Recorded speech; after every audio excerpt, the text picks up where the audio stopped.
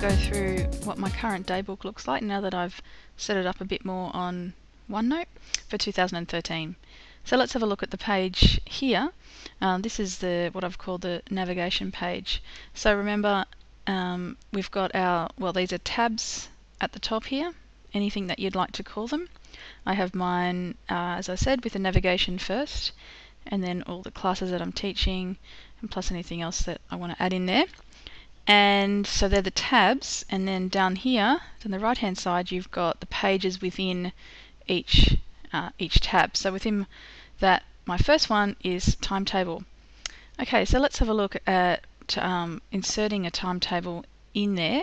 Um, what I do as I mentioned before was I make an Excel file and then I um, insert it and this is how you do it. You go to insert and within there you've got different ways of inserting different objects so there's a there's pictures like you would normally insert a picture in uh, a, a, document or a PowerPoint um, a screen clipping which would take you to somewhere where you would drag it out and take a clip of the screen a link a file attachment or a file printout now I use these two most often. Today I'm going to use the file printout. Okay, so I'm going to look for my file.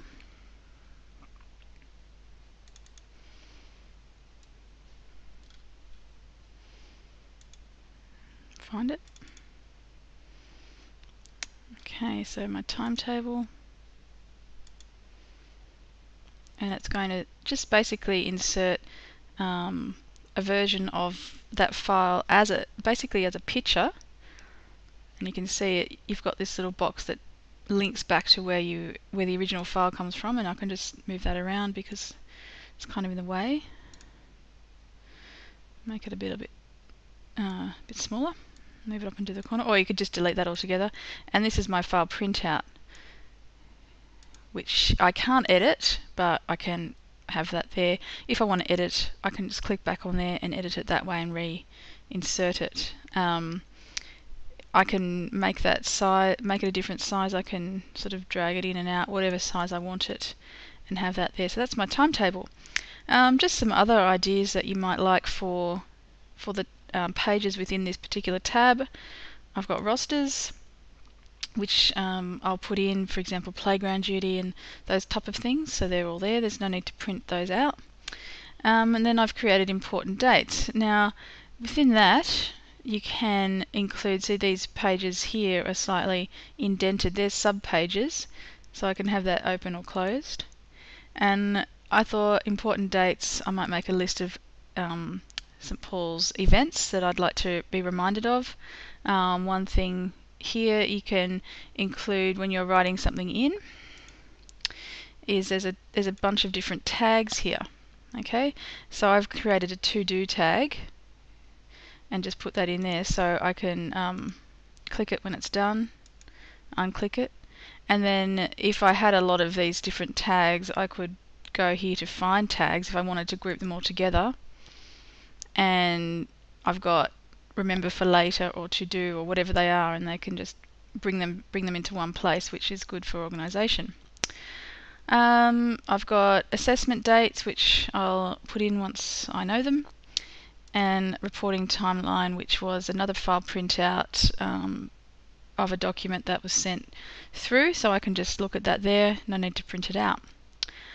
So that's my that's my sort of admin area my, where I can look at all those bits and pieces and I can always add more to it. And as I mentioned in the last video, I then have my year, my year, the classes that I teach. Now I've just um, changed this slightly. Um, so the first page is lesson plans term one. Um, so I've gone through and I've used the same format of inserting a table and then call it, you know, having the date, the period, the lesson plan, the resources needed, and any homework given or anything I've reflected on or notes, things I need to remember. And basically what I do is I start with a blank template of this without anything written in it. Um, then I go through and write all the dates down, which is the, the time consuming bit, I admit that. Um, and then also write, then I um, then I copy that table and I paste it into year 8, year 9, year 10, etc. And then I work out which period I've got them. Okay, so within that I've got um, my links, my PowerPoint sheets, whatever it might be, um, and just gives me an overall view of where we're headed. Like I put the dates, you know, that they're on camp. We've got the swimming carnival in that lesson, um, all the things that are happening, which is very handy. And obviously, I haven't filled in the rest of them, but they're there.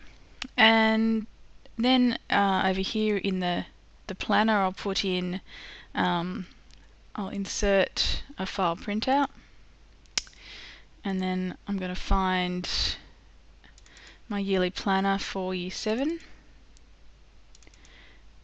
I'm just going to insert that as a printout. Those they can be anything that you want: Word documents, Excel, PowerPoints, and that is there to show me what's happening throughout the year, just in a format that's for the whole year. There. And then I've also got places to put the programs as Word documents that I can link to. Okay, and that's the next thing that I'll do. And then in the student information, I can, I've got a uh, page for correspondence for emails that are sent or anything like that. One place to keep them all related to year 7. I'm going to mark the roll in here just slightly differently. I'll go to one that I've set up and behavior, notes and marks and reporting. But let me go to um, one that I've set up for year 11 which is a bit more done. Um, the attendance. So basically it's really simple, just names down this side and then I'll just write the date in there across the horizontal and I'll just write A if they're away and that way I can see who's away. And then homework completed for these guys. So just write in whatever the homework is and the date that it was completed or you've seen it or whatever it happens to be. And then of course with the marks and these are intended to be um, class marks, just quizzes, things like that, that I can just quickly put in, refer to, and um, just a better way of record keeping. So the idea with this this OneNote this year is to build on last year, and um, yeah, just make it a place where everything is located, um, and I can just find everything here. It's especially useful if I just go um, to one last thing um, my PowerPoints and things, once they're in here, they um, I need to open them from here because if I try to open them in my um, my folders, they're not going to be the updated versions. These are the slightly different versions there. Um, yeah, so it was quite simple setting this up because I was able to go back into my teaching program 2012, which other OneNote files are just located over the side here.